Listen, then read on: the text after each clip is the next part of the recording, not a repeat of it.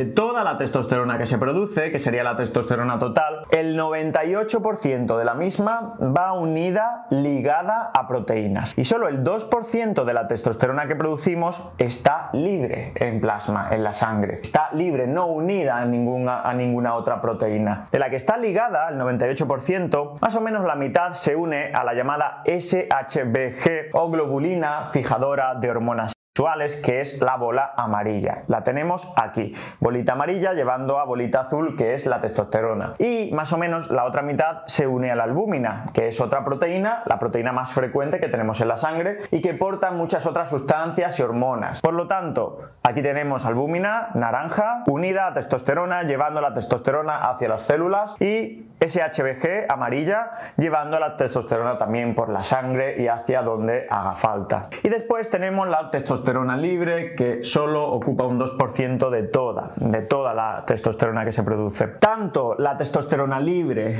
como la testosterona unida albúmina pueden actuar sobre receptores celulares, es decir, es biodisponible. ¿Qué diferencia hay entre testosterona libre y testosterona biodisponible? Lo hemos explicado antes, pero voy a profundizar en este punto. Pues veréis. Testosterona libre, lo hemos dicho antes, aquella no ligada a proteínas, la que va libre en sangre. Esta, la bolita azul, solita. Y testosterona biodisponible es la siguiente, aquella que está lista para ser utilizada por la célula y ejercer las funciones pues que tenga que ejercer en la célula. El concepto de biodisponibilidad es ese. Es posible que hayáis oído el término de la biodisponibilidad de este fármaco es muy alta o tiene una muy baja biodisponibilidad. Pues significa que no el 100% del fármaco que tomamos, que tragamos, es utilizado por el organismo, es utilizado en nuestras células. A veces la biodisponibilidad es de un 5 o un 10%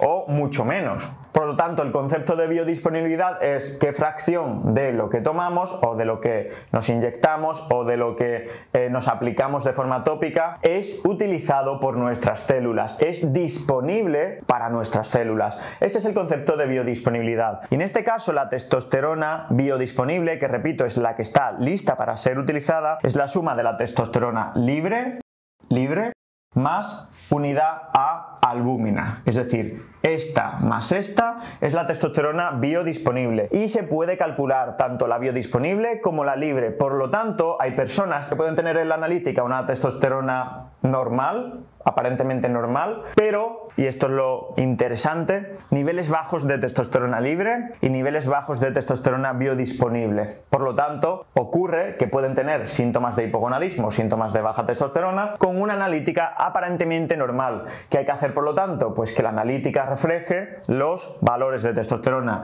1 biodisponible y 2 libre. Para esto, pues hay que pedir en la analítica también SHBG, albúmina y algunos laboratorios lo hacen, otros laboratorios no lo hacen.